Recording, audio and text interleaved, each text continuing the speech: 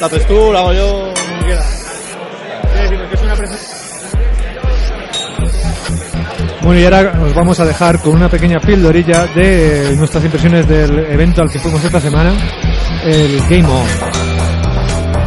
Dentro vídeo.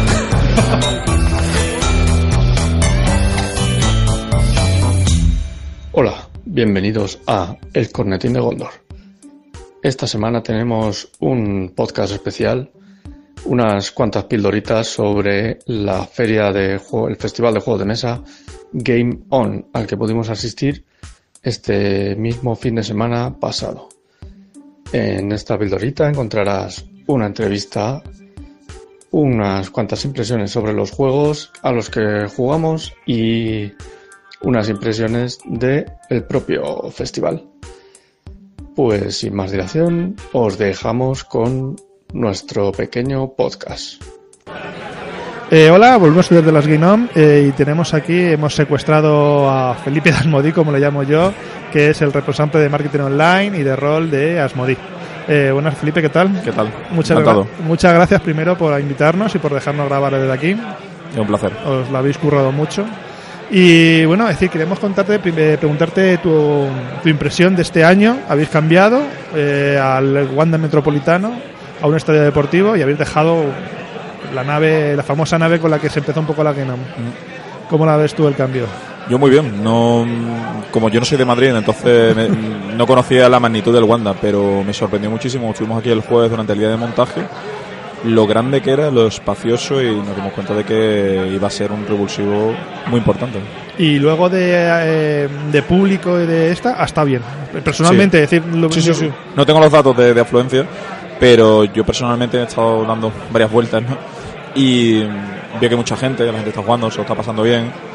Y se ven las mesas llenas, incluso la parte de rol, organizado, todo.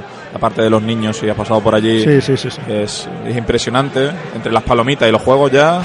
Eh, Lo estábamos hablando un poco antes eh, sobre lo que se ha organizado este año, ¿no? Y comparando lo que son años pasados. Por ejemplo, el año pasado teníais como juegos infantiles, ¿no? Un castillo hinchado, le decía Karim. Y teníais el torneo del de los Cinco Anillos. Este año he visto que traéis, habéis traído Keyforge, que, que, tiene, que tiene que estar funcionando como un tiro, ¿no?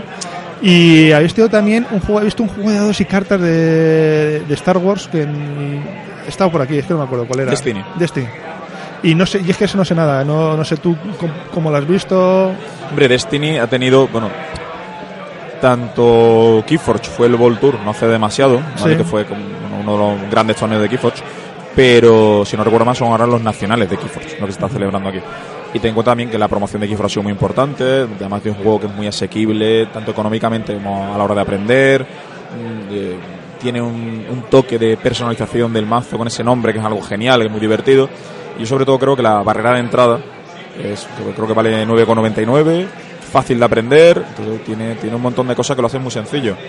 Pero a la misma vez que tiene eso, tiene un montón de estrategias, sobre todo a la, a la hora de hacerte con tu mazo, de las sinergias que se establecen entre las cartas. Entonces, yo creo que ha tenido una acogida muy buena, muy, muy, muy, muy buena. Aparte, la, la última expansión, Mundos en Colisión, ha salido hace, hace nada, con lo cual, pues más gente jugando. Como si esté toda la gente. Y luego estamos aquí a la izquierda, tenemos la gente del rol, que bueno, tenéis partidas de Leyenda de los Cinco Anillos, de ID, llamada de Chulu. Eh, a ver, me parece pequeña, pero porque yo quiero más. Siempre más. Siempre. quiero, quiero más rol, quiero más. Pero la verdad que las veo todas llenas. Esta gente está, eh, se ha tenido que ap- apuntar eh, previamente antes de venir. Es decir, estas partidas están cerradas desde el momento. Desde el momento. Desafortunadamente, por cuestiones de, de agenda, queda muy bien decir, ¿no? Cuestiones Sí. de tiempo, pues no se le dio la, no pudimos darle la promoción que, que nos hubiera gustado. Pero las partidas se han llenado. Sí, no, no, no, están llenas. Se han llenado. Después hemos captado incautos que estaban ahí dubitativos, no sabían esto qué es. Hemos captado indecentemente, pero se han llenado. Entonces, lo que uno se da cuenta de que las personas han venido que están aquí a jugar juegos de mesa, pero esta pequeña sección de rol va creciendo cada año. Entonces, el objetivo es hacerla más grande. Yo creo que con algo más de promoción podríamos haber hecho, haber llenado, en vez de tener las siete mesas que tenemos ahora mismo, haber tenido 10, 11, 12, 20, no sé. Hombre, es que ahora mismo tenéis, eh, voy a decir tres juegos que creo que son como la piedra angular entre comillas, de los juegos de rol, ¿no? Es decir, tenemos, si tenéis llamada de chulo, me refiero, eh, tenéis eh, el paraguas Asmodee, por Sí. decirlo de alguna manera, Sí, sí. eh, llamada de chulo, que es un clásico. Me encanta como cada, cada persona dice chulo de una manera distinta. Mira, Cthulhu, maravilloso. Cthulhu. Es maravilloso, ¿no? Me encanta, me encanta. Eso eh, lo, lo habíamos comentado en el programa principal, es decir, estamos por ir a todos los miembros que están jugando la llamada de Chulu, Catulo, como lo digan, y que nos digan el nombre del, del ser primigenio, a ver cómo lo dice. Eh, tenéis D&D, que no sobran las palabras, y luego tenéis aquí a mi espalda, tenéis Leyenda de los Cinco Cinco Anillos, que es un clásico de John Wick que, que marca también un poco la diferencia entre los juegos de rol, con lo cual yo creo que sí que tenéis material para hacer, entre comillas, algo mucho más grande. Me te digo que buena parte de todo eso, o sea, el esfuerzo que hay detrás de eso hay que atribuírselo a- al estudio H Entertainment, que son los que están detrás peleando, maquetando, produciendo, gestionando toda la parte de producción, ¿no? Tanto de Dungeon and Dragon como de la llamada de Tulu.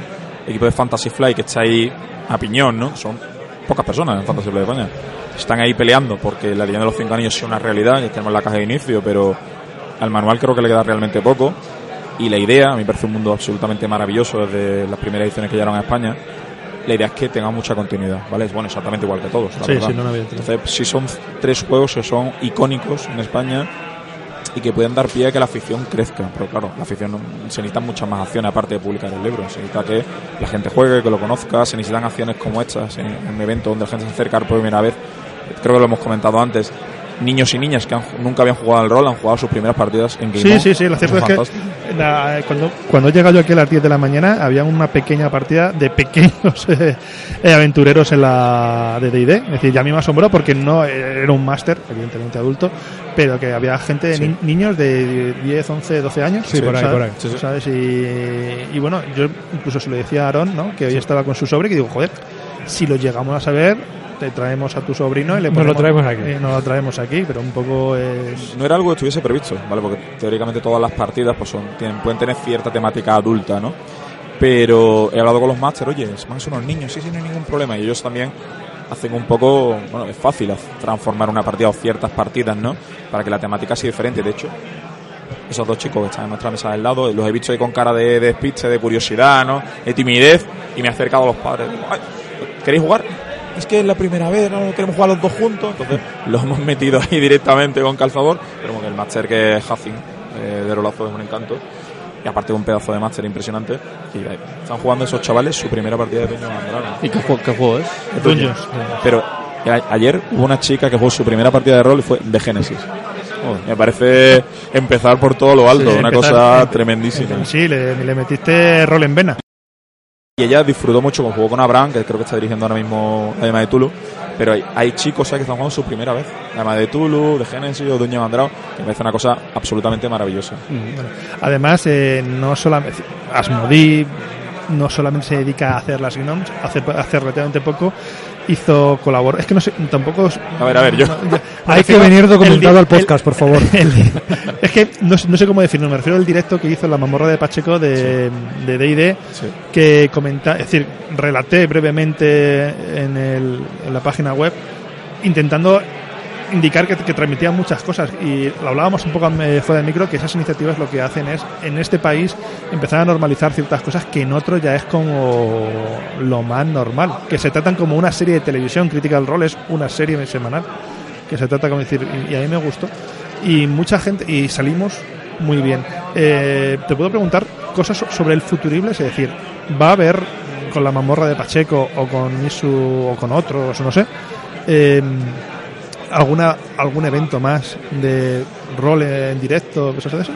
¿O lo tenéis pensado? Sí, O- claro. O sea, la iniciativa tú estabas, como hemos Sí. hablado, en el germen de esa, estabas en la presentación, en el germen de esa idea, que es se la atri- es atribuible por completo al 100% a la memoria de Pacheco. Sí, no, no, no, totalmente. Iniciaron todo esto, los que insistieron, persiguieron y tal. Después a, a los compañeros de Edge, que, que fueron los que dijeron, "Sí, vamos a hacerlo en el Palacio de la Prensa. Y pues para el Palacio de la Prensa, pues, el soporte que nos dieron, el sitio es magnífico. ¿vale? No, no, sí, sí. Es complicado, como hemos hablado, logísticamente, pero el sitio, siendo una sala de teatro, da un toque especial, muy diferente. Y bueno, la memoria de Pacheco, pues, como diríamos en Andalucía, pues se salió del pellejo. Fue una cosa alucinante, una experiencia increíble. Pero sí, tiene que haber más directos, debería haber muchos más. Lo que pasa es que organizarlo es una cosa muy compleja. O sea, muy. No, no, evidentemente, además, parte del éxito creo yo que es como eh, mm, parte de la novedad, parte de la exclusividad, parte, parte del momento. Es decir, si fuera semanalmente te lo tomarías con- de otra, otra manera, manera. Y, y- y creo que no, que no llegaría a tanta gente. Eh, comentaste en, el- en, el- en- en ese directo que ibas a, que eh, Asmodee Edge iba a sacar todos los libros. Es decir, perdón, es que yo mm, tengo un Ahora, ahora, sí que sí, y ahora hago la aclaración, no te Vale. preocupes. Eh, iba a sacar todos los libros de D&D y tengo la curiosidad por si voy a sacar el que está basado en los mundos de Magic en... Ay, Dios mío, y estoy con los nombres fi- finísimo. Eh, los gremios de Ravnica. Ravnica. Entonces, Yo te lo comento. Asmodee, ten en cuenta que es la distribuidora, Sí. ¿vale? distribuye juegos de mesa. Es Edge Entertainment, pues es un estudio creativo, editorial, como quieras llamarlo. Y bueno, hace, ya no recuerdo cuántos años fue, pero hace tres años, puede ser, Sí. cuatro años, Asmodee como grupo, pues adquirió Edge Entertainment, ¿vale? Sí. Pero Edge Entertainment tiene su propio ADN, las mismas personas siguen trabajando en Edge Entertainment, sí, no. pero Asmodee es simplemente la distribuidora, La distribuidora, editora vale. de esos juegos. Entonces, pero la relación es muy cercana porque aquí estamos gente de Asmodee, yo soy de Asmodee, pero trabajo en la oficina de Sevilla, soy en Sevilla, de, Edge Entertainment. sí, sí, sí. Entonces la relación con Asmodee es cercana, directa. eh, Sí, que, que muchas veces vinculante. cuando estás hablando con Edge también estás hablando con Asmodee y cuando estás hablando con Asmodee muchas veces también estás hablando directamente con Edge. No siempre es decir, yo hablo, por ejemplo, con Curro Marín, que es jefe de Sí. producción de Edge Entertainment, y el jefe de producción no sabe nada de, de repos, Sí, él lleva la producción de Edge Entertainment, ¿vale? Lo que pasa que desde Asmodee pues, nosotros tenemos que dedicarle tiempo a todos los estudios, no sé si de manera proporcional, pues se le dedica tiempo a Edge Entertainment es muy importante, es muy importante, pero hay que dedicarle tiempo a Fantasy Flight Games, hay que dedicarle tiempo a repos, hay que dedicarle tiempo a Libelud, todos los estudios tienen su peso, tienen sus juegos a los que le dedican muchísimo tiempo, muchísima energía. Entonces, eh, ¿qué tiene de ventaja? Pues está en Sevilla. Entonces está más cercano, pero se le tiene que dar exactamente Primigenio, Ludonova, Sí, su sí, propio sí. esfuerzo, su trabajo ahí detrás, y hay que trabajar con- ellos en el mismo sentido. Lo que pasa es que Edge forma parte de Asmodee.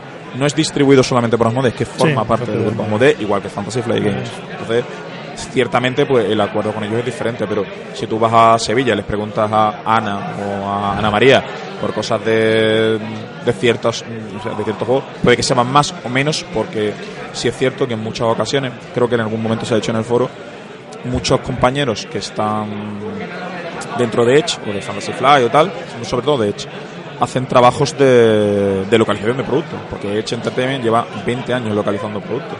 Entonces te puedes encontrar que Edge Entertainment ha localizado productos para juegos a cada cual más extraños, algunos que se pueden decir que son los que están públicos y otros proyectos que el trabajo de Edge Entertainment ha pasado completamente desapercibido, pero que hasta ahí han localizado un juego o han hecho cualquier movida. Y yendo a lo que vamos, ¿no? Ravnica. Entonces, tema Rárnica. Curro Marín, jefe de producción de Edge, me dijo, Felipe, lo vamos a sacar todo. Todo es todo. Eso todo es todo. ¿Qué pasa? Que no se puede producir, por una razón obvia del mercado, no se puede producir absolutamente 12 libros al año, es, es imposible. No, no, no, no, totalmente. La, la pregunta iba más porque llamaba mucho la atención Ravnica, que es como un plano muy icónico de Magic. Eh, de hecho, muchos jugadores de Magic se quejan de que todo está en Ravnica, todo está en Innistrad. Y bueno, digo, pero, pero si os gusta, ¿qué problema tenéis? Y, y yo solamente lo había visto en inglés y sí me gustaría tenerlo para arbitrar, dirigir o algo. de eso. Entonces, eh, En el, bueno, estabas en el directo, todas las cosas que fuimos diciendo de, de cuando hicimos el, eh, las jornadas de la FNAC de Dungeon and Dragon, Sí. que también estuve allí y la gente me preguntó y hablé un poco de lo que había. Eso estamos hablando de junio, si no recuerdo mal. sí. hasta octubre, en esos cuatro meses, por ejemplo, se coló Defend into Averno. Sí. No era una cosa que estuviese dentro de la previsión, pero sin embargo, como of the Coast ha sacado un producto tan enormemente potente, pues quería darle esa prioridad y poder sacarlo. Lo de Ravnica no está en la previsión del año que viene, ¿vale? O sea, en los productos que yo comenté está, creo que 2020-2021, no está Ravnica, pero, pero bueno, hay otra, otra serie de prioridades. Además, ten en cuenta que la línea editorial o, o lo que se va a sacar de Dungeon Dragon no solo es los coordinadores de traducción, que son gente, sino está Rodrigo García Carmona, que es un señor coordinador de traductores, hay que llamarle señor coordinador de traductores de, de Dungeon and Dragon, un señor que conoce Dungeon and Dragon como si lo hubiera parido, un, un conocimiento enciclopédico. Aparte, está la editorial Other Self, o sea, es un señor que vive, o sea, que vive, vive rol, ¿vale? Sí, sí. Tiene su trabajo, pero vive rol. Se decide, evidentemente, se le propone a Wizard y Wizard también, lógicamente, pues, tiene su, le gustaría sacar una cosa u otra. Por eso Dancing into Avernus entra en la planificación de- del año que viene. pero en principio supongo que irá para 2021, no lo sé. Vale, no, no hay una como tal. Como tal, yo creo que ahora mismo no está en, en traducción, porque muchas de las cosas que conté de Tale de, de Young Import y demás cosas no están para 2021. Puede que haya cambios, que lleguen productos nuevos y tal, y que haya que colarlos en esa, en esa producción. Bueno, quiero de informarle también a Felipe, porque le da mucho la vara, siempre mucho con la llamada de Tulu. Chulu, o como lo queráis decir. Y es, le he preguntado, la última pregunta fue si qué pasaba con Harapos del Rey, porque lo estaba buscando, no lo encontraba, no lo encontraba, no lo encontraba. Felipe lo ha encontrado por fin. Ya lo, ya lo tengo y en breve creo que lo arbitraré. Y lo cierto es que eh, eh, habéis sacado una edición bastante chula de, de Tulu. Bastante chulo, de chulo. De, de chula de punch. es, es un chiste. Este, es nivel, este es nivel de los chistes de, de la oficina, lo siento. No, no te preocupes, encaja perfectamente con Aaron. Y le habéis dado, es decir, no sé, le habéis dado, siempre lo hago un poquito con un programa estático, es decir, vosotros, eh, Chausin o, o quien fuera, le habéis dado una renovación completa, es decir, porque ha sido coger el libro y decir, joder, qué bonito, y ya era difícil. Es una obra de arte. No puedo decir otra cosa, una obra de arte. Y no sé, no sé qué tenéis pensado para el futuro. Ahora mismo habéis sacado la guía del guardián, la guía del jugador. Una de ellas dos, no me acuerdo bien, está eh, eh, introducida por Ales de la Iglesia. Ese es el, eh, La guía del guardián. no, del jugador. Es que no me acuerdo. el manual del guardián. Manual del guardián. El primer libro que salió de, de séptima fue el manual, con la pantalla, si no recuerdo mal. Y se- después salió la guía del investigador y es el manual del guardián que está en la introducción de la iglesia. sí. y es chulísimo ahora mismo. No, no sé para, para ya esto lo pregunto a nivel personal, ¿qué tenéis pensado para el futuro? Eh, in- inmediato, más inmediato. No sé si ha entrado ya en producción Pultulu, ¿vale? Pero está ya. La serpiente picabezuda. Sí, bueno, no- no, por supuesto no es el título. A mí me gustaría, sería muy gracioso, pero creo que igual no está dentro del espíritu de, de, de Chaosium, pero si tú el Serpent estaba en traducción, creo que de hecho lo- no hace relativamente mucho subimos una, una foto y creo que en el foro publicamos una lista de todas las cosas que estaban que me maten si me acuerdo, pero estamos hablando de 7 o 8 productos mm, que es el futuro, podemos decir, de, de la línea de la llamada de Tulu. Te voy a preguntar ya por tu eh, llamada de Tulu. Eh, intentando En serio, no me lo puedo creer. Es, es la última pregunta, por favor. y, y se la voy a dedicar a un amigo mío que me pregunta si, si, si lo sé algo, y es que no sé nada. Eh, las montañas de la locura, es decir, está pensado que la, sa- que la, que la saquéis, que, la, que se la reeditéis, porque yo me acuerdo que en su momento, tiempo atrás, la factoría de ideas, o es que no me acuerdo ya, es decir, la sacó en dos volúmenes. Es, es como una de las grandes campañas de Tulu. Que yo ya he visto, no está en producción para séptima. Eso no quiere decir nada. No quiere absolutamente decir- Hay una campaña que lleva no sé cuánto tiempo trabajándose en ella, que es la de Orient Express, Sí. que en algún momento del futuro saldrá, pero claro, mm, no sé, sé que los compañeros estaban discutiendo por- sobre el formato que se le va a dar, porque igualmente es algo que probablemente quiera un formato mm, monstruoso, mágico e increíble, pero claro, requiere un trabajazo también de diseño tremendísimo, ¿vale? Entonces creo que también los compañeros de producción Perdón, que me quedo ahí te hipnotizado. Creo que los hay que equilibrar un poco todo el trabajo de producción tan enorme que se hizo para sexta, sexta edición, ¿no? Con el de con la edición primigenia, con el que se hace para séptima. Se, hace, se ha hecho una, un trabajo enorme, gigante, con solo de maquetación, sino de rediseño de muchísimas cosas de, la, de séptima, pero es que en sexta se hizo todo. absolutamente todo. Entonces, eso está muy bien, es un producto absolutamente increíble, pero si se pretende tener una continuidad en la línea, yo creo que es muy difícil. Muy Hombre, es que, es que, es que sexta cerrasteis con Arapor del Rey, que es buena campaña, y cerrasteis también con las máscaras de Nyarlathotep, que es como otra de las grandes campañas de las, de las clásicas de Chaosin en su momento. Sí. no- De la sexta, mm, no sé exactamente si está cerrado, si no va a estar cerrado. Hay cosas que se estaban haciendo, se querían hacer para sexta. No sé si continúa. En su momento nos dijeron, oye, no sé, en algún momento puede que hagamos algo para sexta, séptima y tal. Pero yo, sinceramente, yo que soy muy, muy rancio para estas cosas, entonces yo sé, mm, coge cualquier historia, coge Harapos del Rey lo puede adaptar a séptima. No solo Sí, no, séptima no, no. tiene la- las reglas para adaptarlo, sino aunque no fuesen tan compatibles, la idea está ahí, el trasfondo está ahí, se puede adaptar. No sé exactamente qué hay de futuro de sexta. No, No está, no es un no es un adiós ni un, es un hasta luego, pero vete a saber tú cuando No, bueno, hacer eso. en, en No el rol, en el rol una, una- la adaptación de una aventura es fácil. No es decir fácil, es decir, es, es se puede hacer, es, es factible.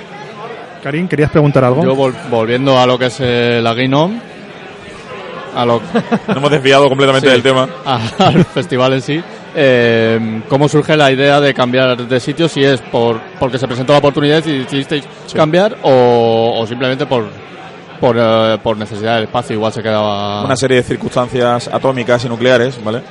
Y hubo que, que no estaba disponible la nave para las fechas que nosotros queríamos y tal. Entonces surgió la oportunidad del Wanda y a mí personalmente cuando me lo contaron, me, me- se suele decir, me explotó la cabeza porque me parecía que era un salto enorme.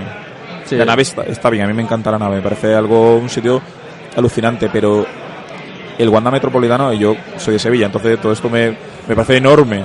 El, el aparcamiento, el estadio en sí, las instalaciones me parecen absolutamente increíbles. El- Digo, la nave me parece magnífica, pero el salto al Wanda el- viste un espacio donde la gente viene a conocer juegos, a jugar de una manera completamente diferente. Y me, parece que, me parece que es un sello de calidad maravilloso para, para lo que, lo que les había comentado antes, para mí es un hito que un, un evento de juego de mesa salte un estadio que es uno de los más punteros de Europa ahora mismo. correcto. Igual que una partida de rol que se celebre en el Palacio de la Prensa. Son hitos que se van logrando poco a poco y que van poniendo a los juegos de mesa y a los juegos de rol en un punto eh, importante. Sí, correcto. Correcto. A mí el espacio me ha parecido maravilloso, realmente. Y, y, oye, que estamos mirando a- al campo, que estáis justamente Sí, sí. entonces, puedes acercarte, cualquiera se puede mirarlo y estás, hemos dicho, en un entorno que es alucinante. No es, no es un polideportivo, donde todo el mundo, todos hemos Sí. ido a jornada en un polideportivo. Oye, y las LES han organizado un polideportivo y son absolutamente maravillosas. Mm. O sea, no, no le quito ningún mérito. Pero como, por ejemplo, este año que han saltado a las a, la nave. a la nave, ostras, es un, es un salto increíble, Sí. ¿no? Me parece a mí, ¿no? Y, que esto se, que, que Game On esté en el Wanda, pues también me parece un salto de, de calidad magnífico. Espero haber respondido, ¿no? Ya. Tienes Sí, que sí, seguir hablando porque si no esto parece que no estamos haciendo nada. Bueno, pues eh, Felipe, yo por mi parte nada más. Muchas gracias por venir. A vosotros, por, Eh, por venir también. Lástima que Nakana no esté no esté pudiendo estar, simplemente por charlar, porque es la, la- la otra de las personas a las que le doy la barrila casi semanalmente.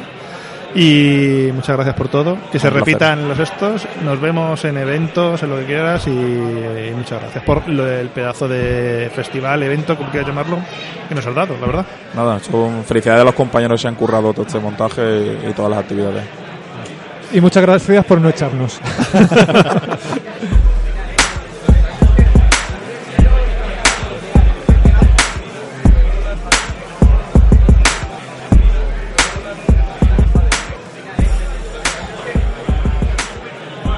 Hola de nuevo, eh, estamos otra vez en el Cornetín de Gondor y estamos y vamos hemos probado dos juegos y vamos a comentarlo brevemente. El primero, Autos Locos, eh, de la mítica serie de Hanna Barbera de los 80, 60, 70, 80, puede ser. No, es que no me O- acuerdo. 80 seguro. Sí, Ya- Bueno, deja- dejamos de los 80. Dejemos 70 por si acaso. Y, y bueno, es un juego de carreras, entre comillas, eh, con los personajes de la serie y, y a, mí, a mí personalmente me ha gustado, ¿sabes? No sé a vosotros, muy simplecito. A mí me ha parecido demasiado simple para la temática que tiene. Podría haber un poquito más de, chicha, de, sobre todo de puteo entre, entre los jugadores. Eh, bueno, sí, no la hay, pero es que tampoco, es que los otros locos tampoco se puteaban entre sí, es decir, como mucho salían, sacaban el, el, el- el rugido de dragón y cosas de estas y, y se adelantaban. El que hacía las cosas malas era Pierno Doyuna, y eso sí lo pre- representa bien el juego. Estoy muy indignado porque no puedo ser pierno de Yuna. Esto es muy feo. Bueno, tío, pero ha sido Pedro Bello, te hemos dejado ser Pedro Bello. Pero lo, lo gracioso de esto era haber, haber sido el malo, haber ido a por vosotros ahí a saco. Bueno, vamos, vamos a decir, ¿quién ha ganado en, esa, en esta primera carrera de Cornetín? Yo no. Yo no lo recuerdo. Yo, he ganado yo, he ganado yo, por eso juego, ese juego es muy bueno, ¿sabes? Eh, me retiro oficialmente del Mundial de Autos Locos, totalmente imbatido. Mm, ¿Me explicamos un poquillo la mecánica básica del juego? Pues en el juego cada uno somos un, un piloto con su coche, ¿no? Los míticos... Por cierto, muy bien hechas las La miniaturas. miniatura sí está muy Las bien. miniaturas son preciosas. Cada, Son, son para pintarlas. cada coche piloto tiene sus cuatro habilidades especiales que suelen ser diferentes entre sí, aunque algunas comunes, parecidas, por así decirlo. Y tienes que ir avanzando en, un, en una pista que es aleatoria más o que menos. es aleatoria, sí, se va haciendo con los setitas que son como cartas. Y en cada loseta puede haber dos, dos personajes, una a cada lado de la loseta. Y te moverás siempre que vayas sacando cartas del mismo color en la loseta en la que estés. Quitando la primera, que es mm, un comodín, que es sí. gratis. Y luego podrás ir avanzando. Hay cuatro tipos de terreno. Si sacas el terreno que tienes, puedes seguir avanzando. De todas formas, según parece en el reglamento, hay algo más. Alguna regla más. Había más cartas especiales. Yo he estado ojeando y había más cartas especiales que no estaban puestas. Como había un pantano que pueden entrar todos los coches sin límite, pero para salir tienes que jugar dos cartas. Había también un túnel, había un puente roto, creo, me, me parece haber visto. Bueno, digamos que en la demo nos han dejado ver la, La manera más han- simple. Sí, nos han dejado más simple que era cambiar dos losetas de sitio, cualesquiera. Si la loseta incluye una, ba- una bomba, pues la bomba se iba con esa loseta. Digamos que si metemos más losetas de, de este tipo especial, el juego será un poquito más dinámico, más tendrá Sí. más chicha. Y será un poquito más largo también, porque serán más losetitas. Tampoco sabemos cuántas especifica el reglamento que se pueda meter. Bueno, y el segundo juego que se han empeñado en jugar mis compañeros, no sé por qué, es el Alon. Eh, Perdón, sí, ¿qué? Alon, Alon. ay, ay, ay, qué humor, qué humor. Humor inglés. Que, Hasta luego, quebrillos. eh, el Alon, que es un juego que todavía no ha salido en el mercado, no está ni traducido y lo hemos jugado en inglés. Y tiene un poco del ambiente y la presión de Alien, Aliens, ¿no? Sí, Dead sí. Space, este tipo de... Dead Space, sí, y- ese rollo. Ese rollo. Y bueno, comentad vosotros, porque habéis decidido que yo sea el héroe. O sea, que Es, yo- es un juego curioso porque en, el- en este caso eh, el héroe está solo, eh, como dice bien el título del juego, y el resto de jugadores, en este caso es un juego para cuatro jugadores, los otros tres jugadores se dedican básicamente a lanzarle bichos a la cara al, al héroe. quiero, quiero, quiero decir que en este juego, es decir, está Aaron, está Karim, y se ha traído Karim un amigo, porque sí, solo por tirarme a mí más, más mierda. Bueno, esa era la gracia, ¿no? Claro, es que si no era muy fácil para ti. Ah, claro, sí. Que eres sí. una mente maestra. Mira, Uy, gracias. Que has, que has ganado la partida de autos locos. Claro, es que es- ganando los autolocos no podíamos hacer otra cosa que buscar un aliado. Vale, vale, me parece bien. Entonces, en ese caso, Bueno, admito. explicar un poco la el, juego, el juego está bastante curioso. Con esas, eh, eh, cada turno, eh, digamos que el, el héroe tiene su propio panel de juego y eh, los enemigos, por así decirlo, nosotros, los buenos de la película, tenemos una pantalla a lo máster de, juego de rol y con el mapa. Nosotros vemos el mapa, dónde está cada cosa, colocamos a nuestra siguiendo las reglas, claro está, a nuestra conveniencia ponemos monstruos, trampas o lo que sea. Y, y básicamente el héroe tiene que cumplir un objetivo que es llegar a un punto y los malos nos dedicamos a ponerle las cosas fáciles, fáciles. Sí, Lo a mejor- guiarle. Lo mejor era que Karim que quería ponerme trampas y no podía. No me dejaban. Es que solo nos dejan dos, dos cartas por O sea, turno. soy un malo que no puedo hacer de malo. Y bueno, que está, el juego está bien, eh, sí, sí se nota la presión y como, como, como jugador bueno.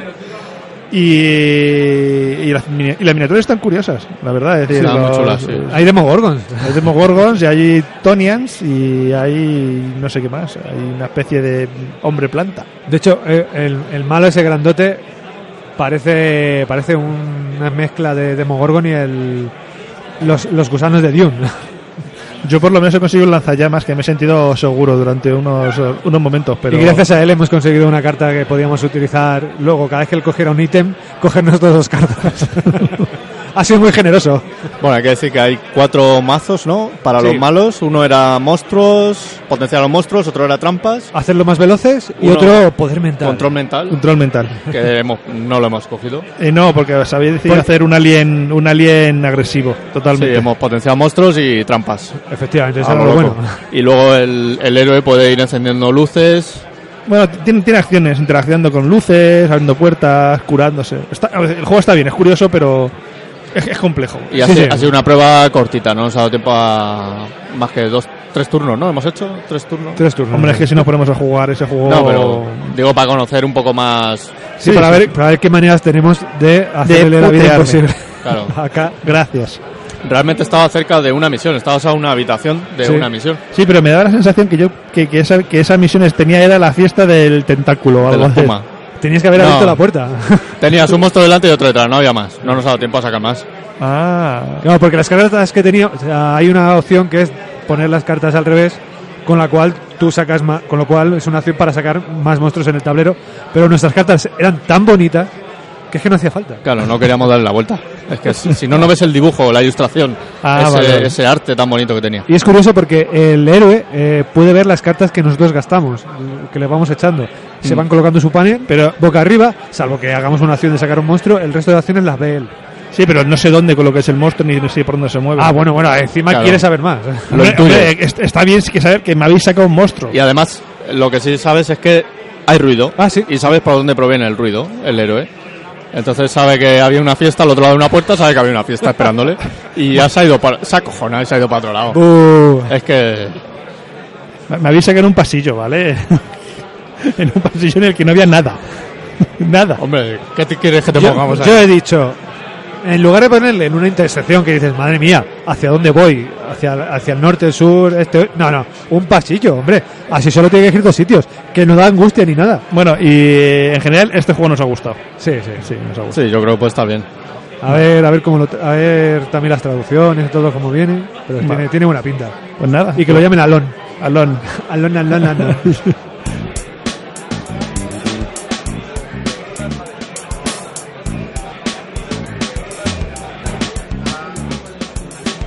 Bueno, y ya que hemos estado aquí, hemos pasado el día en la Game On, pues yo creo que deberíamos dar una pequeña valoración, ¿no?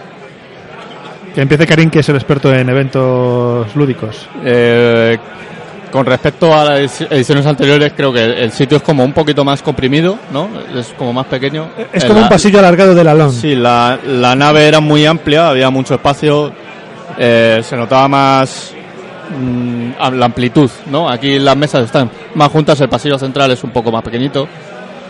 A ver, yo mi opinión es que la nave eh, es uno de los grandes sitios en Madrid para hacer eventos y sorprende mucho la llegada. Es, una- es muy grande, pero el año pasado, en los años anteriores, lo que daba la sensación es justamente que estaba muy vacío.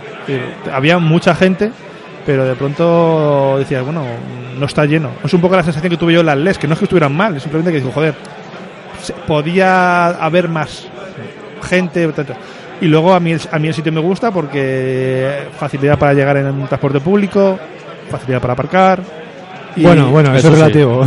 Lo de facilidad para aparcar. Sí, sí, en el, en aparcamiento hoy aquí sí, pero quería, querríais ver esto en fin de semana. Que Claro. Claro, pero es que, es que es que esto, si está jugando el Atleti, no, No se el, hace. el Wanda no se hace, no te lo deja, lo digo yo también, ¿sabes? Que así que está bien, el, el sitio yo creo que está bien. Eh, y luego como juegos y tal, de los que, de los poquitos que hemos podido ver, eh, a mí me han gustado los dos y luego tengo ganas de alguno más. Como... Sí, yo me quedo con los de Star Wars. Mm. Eh, a mí más del Star Wars me ha llamado mucho la atención el, el Legión. no, no, no, el, borde exterior. Ah. Vale. Que, que no sé de qué va a decir, que no sabía que existía tal, no tenía concepto, pero el- me, me llama que sea que sea- que el tablero, entre comillas, sea una, una semicircunferencia. eh, un- me llama la atención. Y luego me he quedado ahí con ganas de probar, que creo que lo haré a las 6, el, el Final Hour, la hora final. ¿sabes? Yo creo que el es que no sé si la ha mejorado. Ese problema a la nave. Yo creo que es diferente. Es diferente. Sí, es- está distribuido de manera diferente. No hay sala de prensa, lo cual me parece. No sala de prensa, sino una sala para los medios, como en la Game arriba tenías un sitio para los medios que podías montar ahí sin tanto ruido y poder grabar o hacer lo que quisieras. La zona de juego organizado no sé si es más grande. Creo- sí, sí. ¿Es más grande esta? Es Yo creo ten- que no. Es que la, la ten en cuenta que la zona de juego organizado eh, en las Game On era el fondo de la nave que no era muy grande porque estaba ocupado Pero por- luego tenías tres habitaciones más. y- pero que eran muy pequeñas porque yo me metí por ahí para ver los torneos de X-Wing y los torneos que hacían organizados y era bastante difícil sobre todo con, Tenías. con la gente con la gente con las mochilas y todo eso. Había un escenario donde daban charlas, que este año no hay. No. Eh, la zona infantil, el año pasado al menos tenían castillos hinchables, tenían más actividades aparte de juegos, con lo cual para mí yo creo que esta es un aliciente. La comida había más food trucks, en este caso había dos aquí cerquita, luego uno más para abajo, con bastante cola, precios bastante altos. Precio- No, el pre- precio muy ajustado, por favor. pre- eh, yo lo que pasa es que ya en eventos, es decir, lo que me cobran es lo que me cobran, lo sé. Es decir, esto es como cuando vas al IFEMA. Si vas al IFEMA sabes que te van a cobrar eso, tanto en food trucks Sí, bueno, pero también puedes valorar Sí, tú no, que, que no- allí en el otro lado era más barato, yo que creo. no- a ver, los- en el otro lado, Yo juraría que la otra vez, por unos 5 euros, tenías algo para comer normal y un euro o dos un refresco. Aquí es el doble. Yo es que no. Yo te iba a decir, no tengo. Es Yo, que estáis en zona noble, ¿eh? yo no, yo no tengo esa sensación. Es decir, yo, la, yo la sensación que tenía era que yo me iba a Food Trucks y me tuve que comprar, no sé si dos crepes saladas y tal, y cada crepe me costaba 4 euros. Es decir, al final me gasté 8 más la bebida. Insisto, que todo esto es medible. Lo que pasa es que cuando vas al- a un salón, cuando vas a un evento, cuando comes dentro del evento, yo ya tengo por descontado que el agua te va a valer 3 euros. Pero vamos, mm, está así. Bueno, Y- co- ¿Y comida aparte? Pues problema que se ha repetido, que nos hemos sentado en una mesa y no hemos podido jugar, porque no había nadie. Eh, Eso es verdad. Bueno, también hemos dicho que este- nos hemos ido a la hora de la comida. Eh, que no es que esté definiendo, pero hemos ido a la hora de la persona que estaba Sí, comiendo. pero es que nadie ha venido a decir nada. Ya, eso, decir, oye, eso- eso no te lo discuto. aquí a lo mejor dentro de una hora viene la chica o, ve- o el chico. como, como no- nos han dicho antes que esperáramos Claro, en el alón. En la otra que- mesa sí nos lo han dicho. Creo que esto es- el- la organización me parece bastante buena y profesional y en ese aspecto es un punto que se podría mejorar porque ya pasan años anteriores. Y concretamente yo estuve en el primer año de voluntario y no, no se quedaba una mesa nunca libre porque tú te aprendías tu juego y los de al lado. Entonces el de al lado se iba a comer, tú enseñabas el tuyo y el de al lado. O- Obviamente, si estabas enseñando el tuyo, el de al lado tenía que esperar un poco, pero por lo menos le decías, ahora te lo explico yo en 10 minutos. Es que a nosotros no nos ha dicho nadie nada. Y Aaron, tu opinión, porque ya hemos dado la nuestra. Mi opinión de, de todo en general, fatal. Vamos, horrible. vamos, vamos a centrarnos en la On y no en tu vida. Mi vida va genial. Pues, oye, a mí sí me ha gustado, me gusta me gusta este ambiente pasillero que han hecho. Que, bueno, a ver, para gusto los colores. Es verdad que en, la, en, la, en, la otro, en el otro recinto sí que es mucho espacio y a lo mejor sí que da a veces sensación de desangelado, ciertas zonas. Me ha gustado mucho, eh, sobre todo cuando ha llegado sobre la una, una cosa así, que ha venido mucha gente, los pasillos estaban más repletos, da como más ambientillo, eso, eso mola. Y bueno, no me voy a quejar de lo de. porque había- era un juego en el que no hemos podido hacer nada porque no había nadie. Y, y lo bueno también es que había mucha gente jugando, o sea que eso también, eso también mola. Y, y no, no tengo tanta queja, aunque sí, es verdad que la comida era- ha sido de traca. Pero oye, Pero esto, bueno. es, esto es como entrar a un parque de atracciones y pensar que te van a cobrar dos euros por, un- por unas patatas Sí, yo entiendo que la comida no es cosa de la On. O sea, Claro, son claro, los puestos es- que son aquí del Atleti. Es del recinto. Bueno, que no sean ni del Atleti, están aquí siempre. Y eh, es, es verdad que no hay sala de prensa ni nada. Bueno, te- lo bueno que tenemos es que podemos salir a las gradas, eso también mola. Y Eso sí. hecho- hacemos Está- algunas fotillos y tal, esto está muy guay. Y oye, que pilla cerca de casa de mis padres, que me voy a quejar yo. A mí eso me ha gustado, que, que se salte un sitio de fútbol y que se supone que es lo más grande deportivamente en este país, que se la salte los juegos de mesa, que es algo que es- sigue en auge, cada vez va aumentando más, tanto como para venir a un, a un estadio que se supone que es el mejor, bueno, no sé si es el mejor, pero el más avanzado de Europa o algo así, por lo que dicen. Yo, a mí lo que sigo echando de menos en las Game On es que haya eh, una tienda. ah, sí, eso es verdad, sí, estoy de acuerdo. Sí, porque yo ahora mismo, a lo mejor no, no el Alon, que es un juego que está como novedad, pero sí tengo un mono de llevarme un libro de ID, un juego de El Autos Locos. Es o- verdad, y estaría bien catálogos aquí, Sí. no sé, algo, algo más de promo que te puedas llevar y dices, hostia, que- Algo tangible, algo tangible que te pueda llevar a casa. Otro- otros años lo hubiera entendido porque a lo mejor el espacio está cedido por el ayuntamiento y cosas de esas, pero, pero que, que no lo haya cuando es un espacio, entre comillas, privado, me, me resulta raro. No. Es decir, siempre, si- si- me, me quedo con ganas de irme ahora a Generación Alquiler de Cladenares y comprarme. Por decir una al azar, Sí, porque es la que más cerca me pilla. Mentira. Al Frodo de Getafe. y, y comprarme algo. Es decir, me, me falta quizá eso. No lo sé. Y también me falta eh, dos cosas. Ludoteca. eh, yo quiero jugar a un juego, mm, déjame el juego, juego o la- lo que tenga que jugar una hora. A lo mejor no tener un alón, no tener un, un- juegos muy largos. sí, o sea, que no sean demos, que tú te puedas jugar- llevar un juego y decir, mira, voy a jugar y, de- y tener un espacio para jugar. Y eh, me falta también, eh, bueno, aunque estamos aquí en la zona de juego organizado, que tenemos gente de, de Star Wars jugando, de K-Force y tal, eh, algún torneo, como yo suelo decir, random, un Ticket to Ride random, o al- algo así para, para que si te, si te apetece jugarte un torneillo tonto, poder jugar. Sí, un, un torneo, el Jungle Speed. Oye, o Jungle.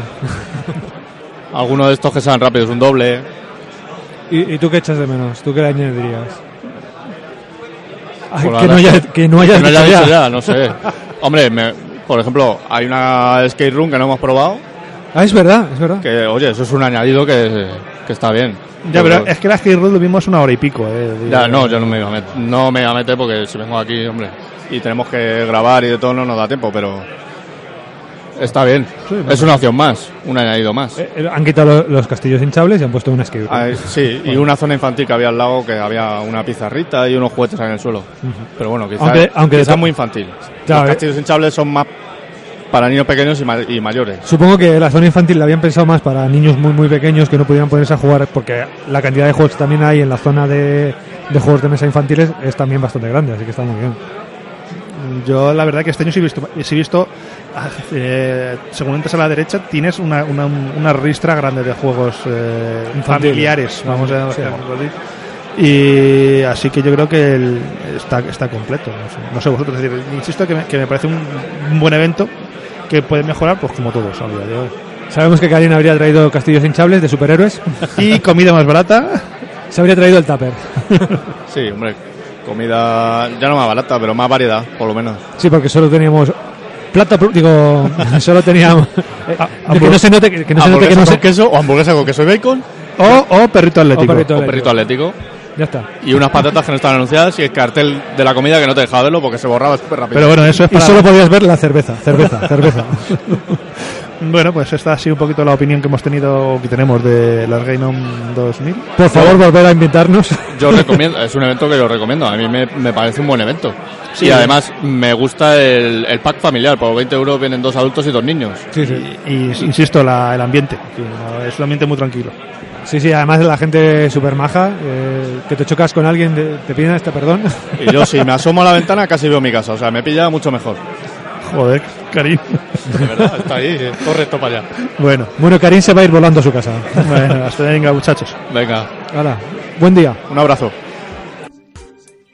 Esperamos que os lo hayáis pasado bien, que os haya sido interesante y nos vemos la siguiente semana con nuestro podcast mensual. Un saludo y hasta la próxima.